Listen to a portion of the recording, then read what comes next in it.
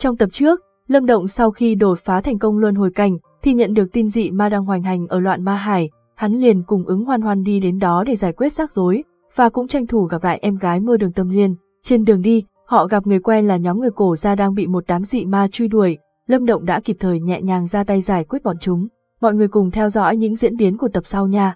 Không hay rồi, đột nhiên có người từ ngoài hốt hoảng chạy vào, bên ngoài võ hội đảo dường như có người đang muốn xông vào đảo. Mọi người nghe thấy sững người, giờ còn có người dám đến võ hội đảo. Tất cả cùng ra khỏi lầu các, nhìn ra xa chỉ thấy bên ngoài quầng sáng có một vài thân ảnh đứng trên không, ma khí cuồn cuộn, từ phía xa cũng đã có lượng lớn dị ma bao vây tới. Đó là Tiểu Nhã, còn cả Lâm Động, Cổ Mộng Kỳ và Cổ Yên nhìn những thân ảnh kia khựng người một chút, rồi kêu lên kinh ngạc, Lâm Động, cái tên đó vừa vang lên thì mọi người khựng lại, sắc mặt Ngụy Gia có phần khó coi, hiển nhiên là vẫn nhớ kẻ đã khiến Ngụy Gia chịu thiệt thòi. Vô Hiên cũng nhíu mày, hiển nhiên vẫn nhớ cái tên này, Gia Gia, đó là Lâm Động từng giúp cổ gia chúng ta, mau cho hắn vào đi, nếu không dị ma bao vây tới thì phiền phức lắm. Cổ Mộng Kỳ vội nói, vừa dứt lời thì gia chủ Ngụy Gia nói ngay, không được, chưa nói tầng năng lượng kia có cho vào hay không. Hơn nữa chúng ta cũng chưa biết rõ như thế nào, bọn dị ma đó giả hoạt thế nào các ngươi có biết không? Vạn nhất là chúng giả dạng, để chúng vào thì các ngươi có gánh vác được trách nhiệm này không? Nghe vậy các cường giả đều khẽ gật đầu, hiển nhiên lúc này vẫn nên thận trọng là hơn. Cổ mộng kỳ sắc mặt thay đổi, giận dữ nhìn gia chủ ngụy gia, đương nhiên nàng biết hắn ta đang cố ý gây rối. Cổ thống cũng chỉ đành thở dài, lúc này hiển nhiên là cổ gia bọn họ, không dám làm việc gì trái lại ý kiến của mọi người.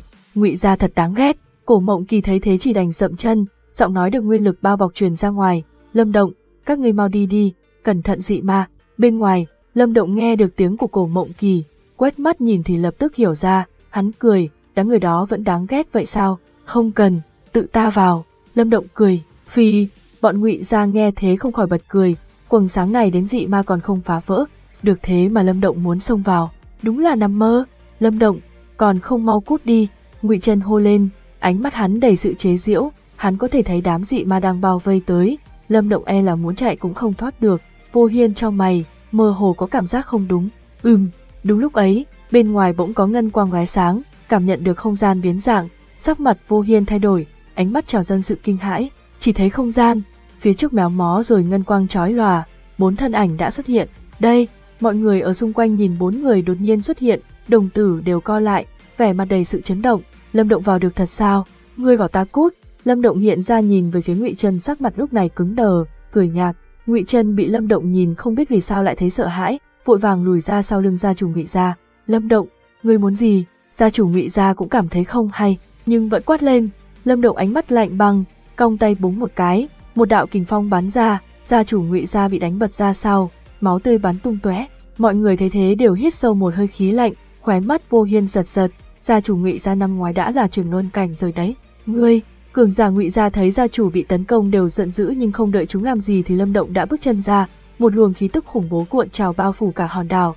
Áp lực tạo ra từ luồng khí tức đó khiến những tiếng ồn ào trên đảo lập tức biến mất.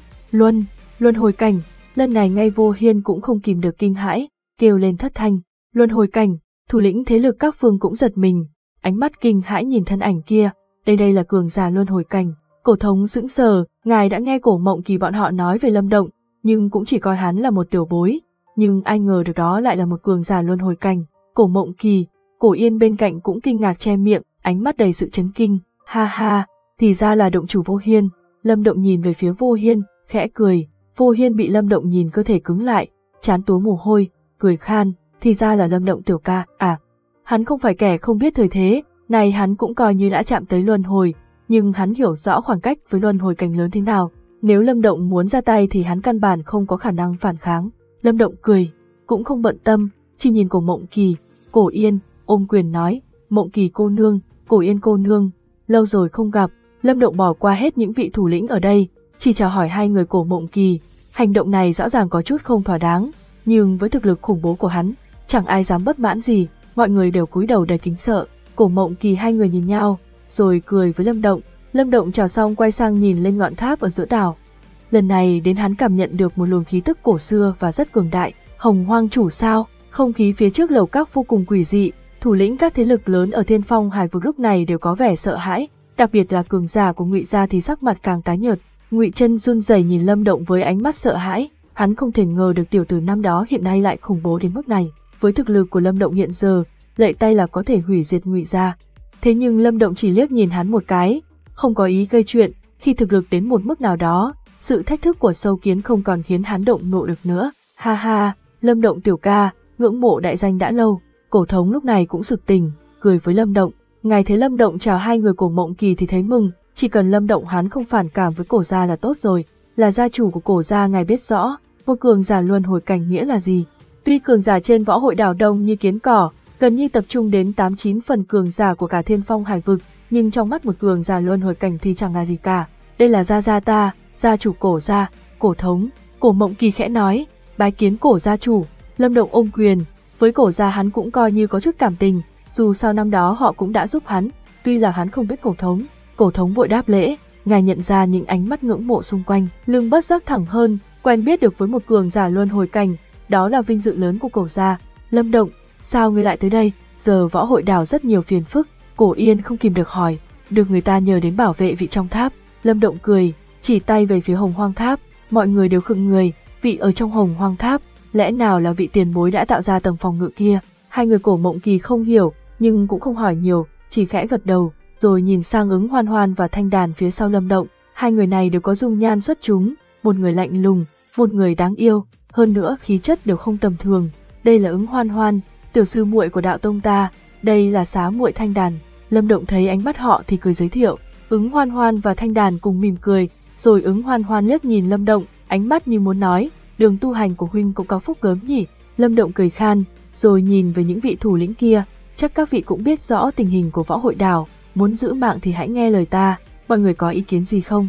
Bên ngoài võ hội đảo hiện nay có lượng lớn dị ma, Lâm Động muốn giải quyết chu toàn thì cũng có thể dùng tới sức mạnh của họ, có họ đối phó với dị ma hạng bình thường cũng tiết kiệm được chút tinh lực. Hắn nhìn quanh, khí tức tỏa ra khiến mọi người run rẩy, động chủ của Tam Đại Động Thiên cũng không dám phản đối. Cổ gia chủ, ngài hãy tính số người trên đảo rồi mỗi thế lực dẫn người lập trận pháp, khi quầng sáng kia bị phá vỡ thì toàn lực đón địch. Lâm Động nhìn về mọi người nói, mọi người không thể đối phó được với dị ma tự ta sẽ dọn dẹp, nhưng những kẻ bình thường khác thì giao cho mọi người. Giờ tất cả đã trên cùng một con thuyền, ta mong mọi người đồng lòng, ai ngầm giờ trò thì ta chỉ đành tiêu diệt hắn mà thôi. Nghe vậy mọi người đều run lên, lúc này mới hiểu kẻ trước mặt đây chẳng phải loại. Hiền lành gì? Lâm Động Tiểu ca nói phải, việc này liên quan đến tính mạng, đương nhiên bọn ta phải tận lực. Động chủ Thiên Phong Động Thiên vội nói, hoan hoan, thanh đàn, hai muội ở lại đây trông coi. Lâm Động gật đầu rồi nói với hai người ứng hoan hoan. Cổ gia tuy là một trong ngũ đại gia nhưng dù sao cũng không phải thế lực mạnh nhất thiên phong hải vực, nếu không có người giúp thì những người khác cũng không phục họ. Hai người ứng hoan hoan gật đầu, thanh đàn quét mắt nhìn quanh, nàng là điện chủ hắc ám điện, việc thế này nàng biết quá rõ. Lâm Động nói xong, ngân quang lóe lên, hắn xuất hiện phía trước hồng hoang tháp rồi tiến vào đỉnh tháp. Mọi người thấy hắn thuận lợi vào trong tháp, trong lòng vô cùng kinh ngạc nhưng cũng không dám nói gì. Phiền các vị trình đốn thuộc hạ, rời già kiểu này thật sự quá khó coi. Thanh đàn thấy Lâm Động vào trong tháp, vẻ mặt dịu dàng nhí nhảnh thu lại, tay nắm chặt, hắc ám thánh liềm hiện ra, lưỡi liềm lướt qua, mọi người nhìn thấy trên không trung hiện ra một khe nứt lớn, tất cả đều hít vào một hơi khí lạnh, không ngờ thiếu nữ đáng yêu này cũng khủng bố như thế. Mọi người nhanh lên, tính ta cũng không phải dễ chịu gì đâu, đến lúc đó không cẩn thận quét bay mọi người khỏi đảo thì Lâm Động ca sẽ trách ta. Thanh đàn ôm hắc ám thánh liềm, uể oải nói, vâng vâng, thủ lĩnh các thế lực toát mồ hôi lạnh vội vàng chỉnh đốn quân, sợ không cẩn thận sẽ chọc giận. Bà cô trở mặt ngay khi Lâm Động rời đi này. Ứng hoan hoan nhìn sự náo động trên đảo, ánh mắt cũng không có dao động gì nhiều, chỉ nhìn lên hồng hoang tháp lầm nhầm, hồng hoang chủ à, khi Lâm Động lên đến đỉnh hồng hoang tháp, đập vào mắt là một vùng biển năng lượng màu từ kim, năng lượng cuồng bạo lan tỏa mọi ngóc ngách trong không gian. Lâm Động mỉm cười, năm đó khi đến đây, chỉ hấp thụ một chút năng lượng xỉ ra từ đây đã khiến hắn nhận được không ít lợi ích, nhưng bây giờ dường như nó không còn sức hấp dẫn mấy nữa. Lâm Động quét mắt nhìn, thân hình nhanh chóng bay vào trung tâm, ở đó hắn cảm nhận được một luồng khí tức cổ xưa mà cường đại đang ngưng tụ. Mấy phút sau Lâm Động dừng lại, kinh ngạc nhìn về phía trước, ở đó có tử kim quang chói lòa tỏa ra, ở giữa là một thân ảnh khổng lồ hàng nghìn trượng đang ngồi, năng lượng tử kim kia đang thuận theo nhịp thở mà chui vào cơ thể. Cự nhân đó toàn thân màu tử kim, bề mặt da thô ráp, cường hãn, hiển nhiên đây chính là Hồng Hoang chủ, một trong bát chủ, cũng là người có nhục thể cường đại nhất thế gian. Hồng Hoang chủ, Lâm Động bay phía trước Hồng Hoang chủ, so với ngày hắn chỉ như một con kiến nhỏ bé, hắn có thể cảm nhận được sự cường đại của nhục thể Hồng Hoang chủ. Điều này khiến lòng cốt hồng hoang trong cơ thể hắn không kìm được phát ra tiếng kêu dường như muốn so bì cao thấp. Tử kim quang hùng hồn đột nhiên cuộn trào, cự nhân chậm chậm mở mắt, hai đạo tử kim quang bao trùm lấy lâm động, theo đó cũng là một luồng áp lực cường đại ập xuống. Gào, tiếng long ngâm kinh thiên động địa vang ra từ cơ thể lâm động, đối mặt với áp lực đó, cơ thể lâm động cũng lóe kim quang rồi biến thành một con cự long khổng lồ. Long cốt hồng hoang, thấy con cự long đó, cự nhân lên tiếng, giọng nói có chút kinh ngạc, vang như sấm khiến không gian rung chuyển. Tại hạ lâm động bái kiến hồng hoang chủ. Lâm động ôm quyền nhìn hồng hoang chủ nói lớn, người chính là lâm động, viêm chủ đã nói với ta rồi, quả nhiên có chỗ bất phàm. Hồng hoang chủ cười, gương mặt ngài có phần hiền hòa, nhưng trong ánh mắt chốc chốc lại lóe lên sự sắc sảo phá vỡ hoàn toàn cảm giác hiền hòa kia. Lâm Động khẽ gật, hắn cảm nhận được sự cường hãn của Hồng Hoang chủ, nhưng khí tức có phần nặng nề, rõ ràng là vì chưa hoàn toàn hồi phục. Lần này e là phải làm phiền ngươi rồi. Thương thế của ta đang trong giai đoạn quan trọng, chỉ cần 5 ngày nữa là sẽ hồi phục hoàn toàn, nhưng ta nghĩ ma ngục sẽ không để ta dễ dàng hồi phục. Vì thế 5 ngày nay ta hy vọng ngươi chấn thủ được hòn đảo này. Hồng Hoang chủ cũng ôm quyền, nói, được viêm chủ ủy thác đương nhiên tại hạ sẽ dốc toàn lực. Lâm Động gật đầu, đáng lẽ chúng không phát giác ra ta, nhưng khi thương thế dần hồi phục thì khí tức của ta cũng ngày một mạnh khiến chúng dò ra được. Hồng Hoang chủ ngừng một chút rồi hỏi, tiểu sư muội cũng ở đây đúng không? Ta cảm nhận được khí tức của muội ấy. Lâm Động do dự một chút rồi gật đầu. Hồng Hoang chủ cười, nhìn Lâm Động với ánh mắt kỳ lạ, cũng không nói gì nữa. Hiển nhiên là ngài cũng biết chuyện giữa Lâm Động và ứng hoan hoan. Lần này chắc chắn có một tên vương điện hiện thân, người ứng phó được không? Lâm Động mỉm cười khẽ gật, với thực lực hiện nay của hắn, chỉ cần không phải vương điện vượt qua ba tầng luân hồi kiếp thì hắn không sợ. Nếu vậy thì đa tặng ngươi. Hồng Hoang chủ nhìn Lâm Động đầy thâm ý, ta cũng muốn xem thực lực của người mà từ sư muội xem trọng. Sau khi nói chuyện với Hồng Hoang chủ, Lâm Động cũng không ở lại Hồng Hoang Tháp lâu. Ngài đang trong thời kỳ quan trọng cho việc hồi phục, vẫn nên yên tĩnh là tốt hơn. Lâm Động ra khỏi tháp thì thấy võ hội đảo náo động, ở đâu cũng thấy bóng người lao tới như thiêu thân.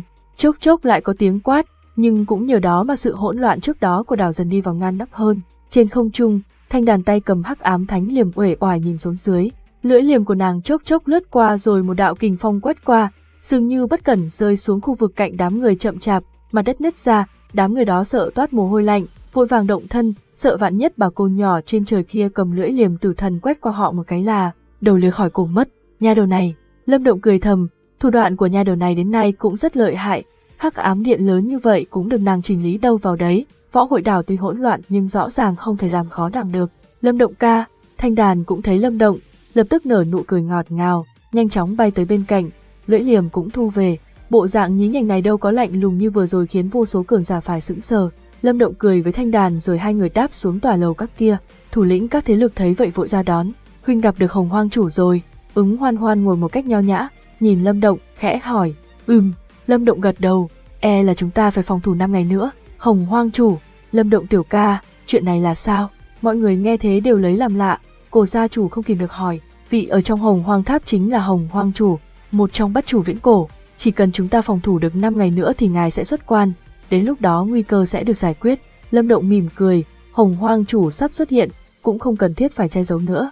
Bắt chủ viễn cổ, mọi người nghe thế, một số người vẻ mặt mơ hồ, một số người thì chấn kinh, hiển nhiên là đã nghe về những cường giả đỉnh phong này ở thời viễn cổ, chỉ có điều không ngờ vị cường giả uy danh hiển hách lại ở ngay trong Hồng Hoang Tháp này. Chư vị, nay võ hội đào bị bao vây, trong năm ngày tới chúng ta trên cùng một con thuyền, mong mọi người hãy đồng tâm hiệp lực cùng vượt qua cửa ải này, nếu không, e là chẳng ai thoát được đâu. Lâm Động quét mắt nhìn, chậm rãi nói, rõ, tất cả cùng đồng thanh đáp lại, họ bị vây khốn ở đây vốn đã có chút tuyệt vọng, lúc này Lâm Động xuất hiện đã đem lại hy vọng, để nắm được tia hy vọng này đương nhiên họ phải dốc toàn lực. Lâm Động vẫy tay, mọi người tản đi, trên lầu chỉ còn ba người họ, Lâm Động thở phào, nhưng ánh mắt thì khá nặng nề. Sao vậy? Ứng hoan hoan thấy vậy hỏi, e là năm ngày này sẽ không dễ dàng. Lâm Động nói, hắn có dự cảm việc lần này sẽ không thuận lợi, hồng hoang chủ sắp hồi phục thực lực, một khi ngày hồi phục thì đó sẽ là rắc rối lớn đối với mang mục. Chúng đã bỏ biết bao công sức mới giữ chân được lôi chủ, hắc ám chủ, cơ hội này chúng sẽ không dễ dàng bỏ qua, binh đến thì chặn, nước đến thì đắp đất, chúng ta cũng không sợ chúng, đúng là chúng giữ chân được lôi chủ bọn họ nhưng chưa chắc vì thế mà bỏ ra chiến lực mạnh nhất. Ứng hoan hoan nói, Lâm Động khẽ gật đầu, lôi chủ bọn họ đều ở trạng thái tốt nhất, dù thực lực mang ngục mạnh thế nào nhưng muốn giữ chân được họ thì bắt buộc phải có cường giả mạnh nhất ra tay mới được. Như thế chúng sẽ không thể phái được nhiều cường giả đến đối phó với võ hội đảo. Lâm Động ngẩng lên nhìn quầng sáng, bao trùm trên hòn đảo rồi thở hắt ra một hơi. Dù thế nào, đã hứa với họ thì đương nhiên phải bảo vệ tốt cho Hồng Hoang chủ, nếu việc này cũng làm không xong thì sẽ bị bọn họ coi thường. Sau khi mấy người Lâm Động đến không khí tuyệt vọng trên đảo giảm đi không ít, dù thế nào, Rất nhiều người vẫn giữ sự kính sợ với cường giả đỉnh phong luân hồi cảnh, với họ mà nói, có cường giả như vậy chấn thủ, ít nhất thì cũng thêm một phần hy vọng chứ. Tất cả nhân lực trên đảo đều được điều động, chỉnh hợp một chút hình thành chiến trận, thao luyện một ngày là có thể chiến đấu tốt, ít nhất vẫn hơn sự rời rạc trước đây. Khi sĩ khí trên đảo được ngưng tụ, công thế bên ngoài của bọn dị ma cũng ngày một hung mãnh, ma khí ngập trời oanh kích lên quầng sáng tạo nên những đường gợn sóng khiến không ít người toát mồ hôi hột. Họ biết một khi quầng sáng bị phá vỡ thì một trận chiến tanh nồng mùi máu sẽ diễn ra. Trong không khí căng thẳng đó, thời gian chậm rãi trôi qua khiến mọi người cảm giác như một ngày như một năm vậy. Lần đầu tiên họ cảm thấy năm ngày ngăn ngủi lại khó sống đến thế. Đến ngày thứ tư, không khí trên đảo càng thêm căng thẳng, vì quầng sáng bảo vệ họ giờ còn rất mỏng manh. Trên đỉnh núi ở trung tâm đảo, Lâm Động lặng lẽ ngồi đó nhìn lên trời, rồi nhìn sang trùng trùng ma vân bên ngoài đảo, không biết trong đó có tên vương điện nào. Khi ấy, bên cạnh Lâm Động có một luồng hàn khí đem theo làn hương nhẹ nhẹ thổi tới. Hắn nghiêng đầu thì thấy ứng hoan hoan đến bên cạnh và ngồi xuống, vòng eo thon gọn kia khiến người ta muốn ôm vào lòng. Huynh vẫn lo lắng à? Ứng hoan hoan mỉm cười.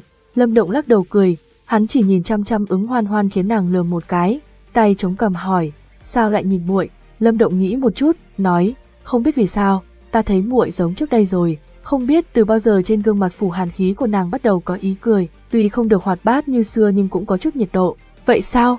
Ứng hoan hoan cắn môi, nhìn hắn, thế huynh thích muội trước đây hay bây giờ? Không được nói là đều thích, nàng vội bổ sung.